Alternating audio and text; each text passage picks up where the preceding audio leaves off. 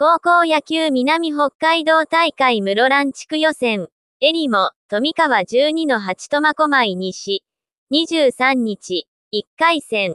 とマシンスタジアム7年ぶりに単独チームで出場した苫小牧西が、エリモ、富川の連合チームに逆転負けした。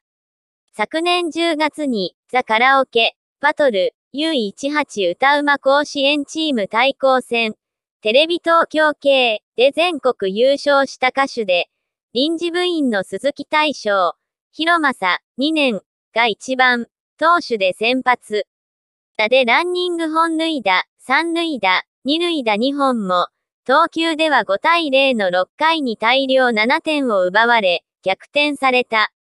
科目機監督33は、選手たちと最後まで楽しい試合ができてよかった、と振り返った。